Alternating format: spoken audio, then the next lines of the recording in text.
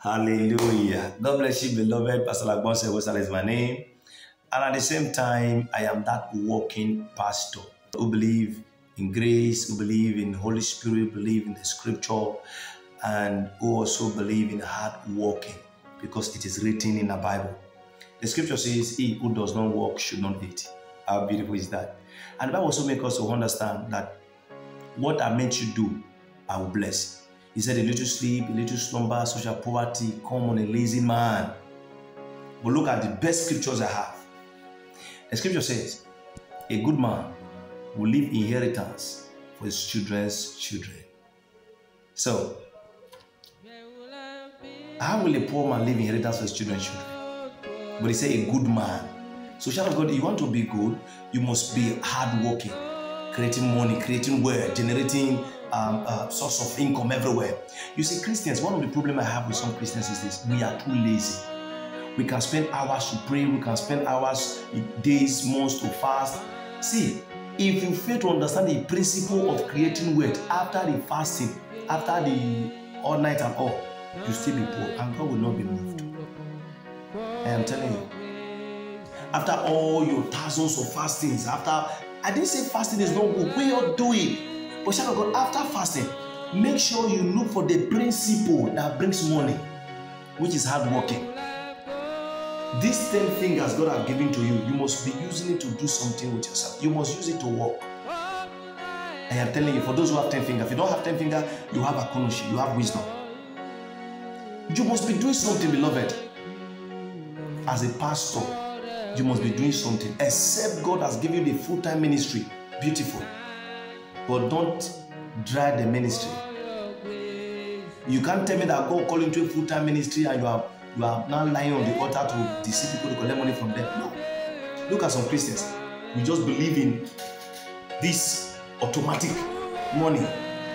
Pastor will tell you, uh, I see strange alert coming your account.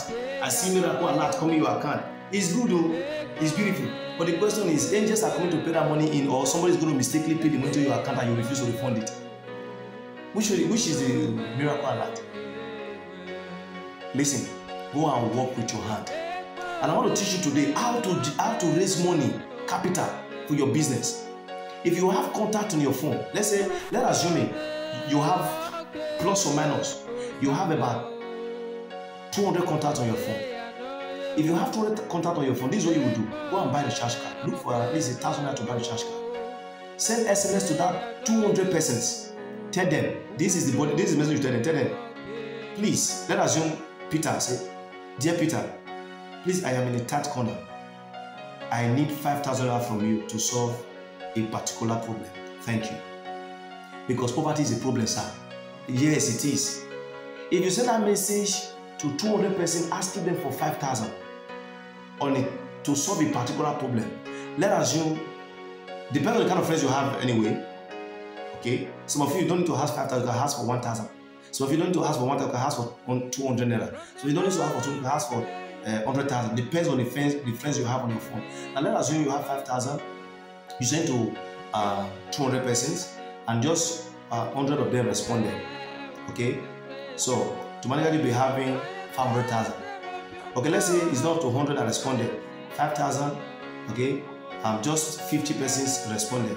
So you'll be having 250,000 naira, depending on, but I know money must come out from it. Now, what you're going to do?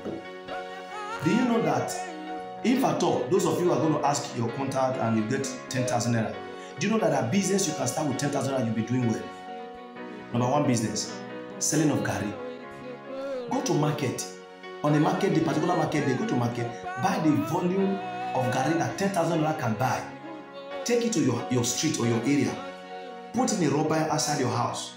Let people know that you now sell Gary. Even as a man or a woman, you can do this business.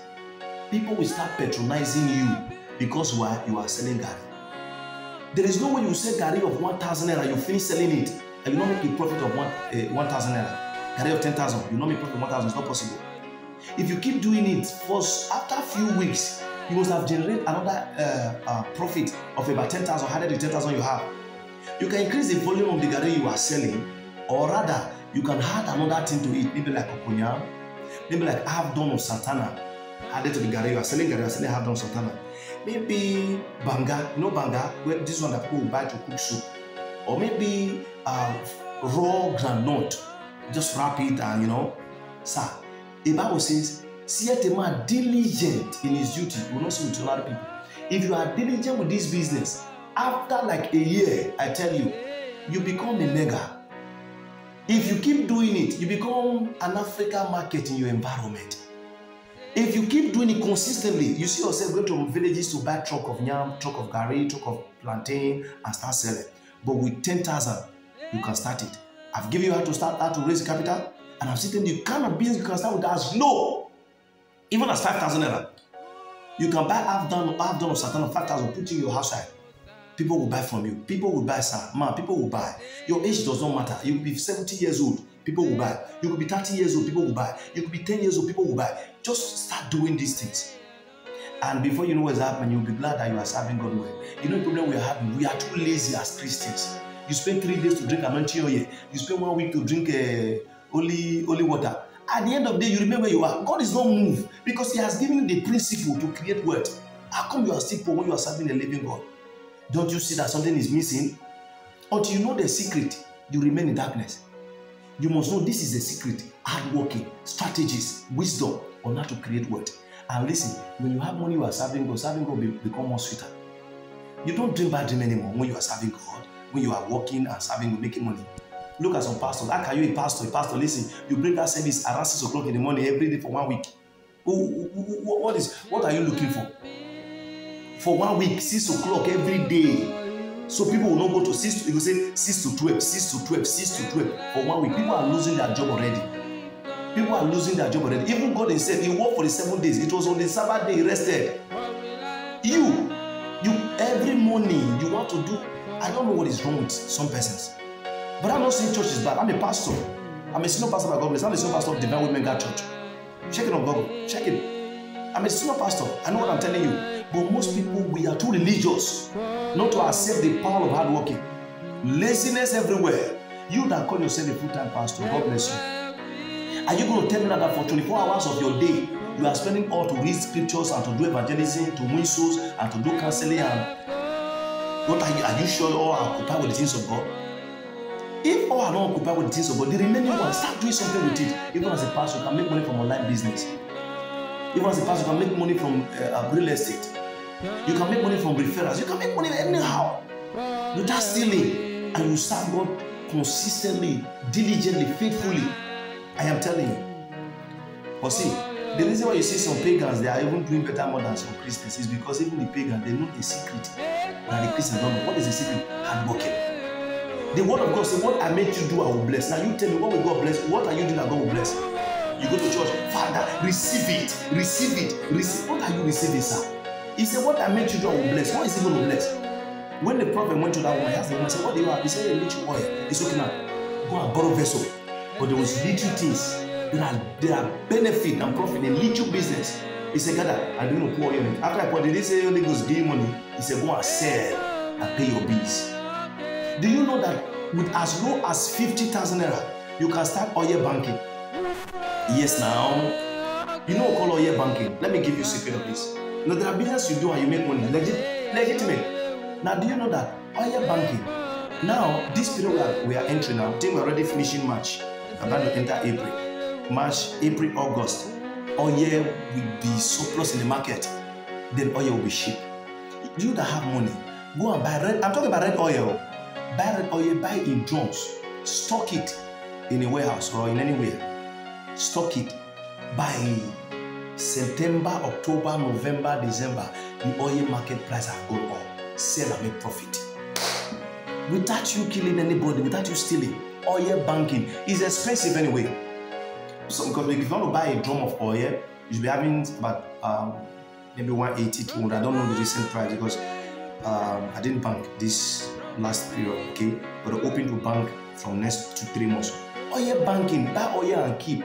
By the time the oil price go up, you sell, you make money. People think you are not doing anything.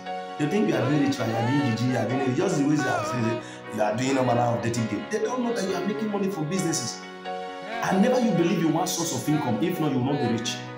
You that watching this video now, maybe you are you are the, you are employed.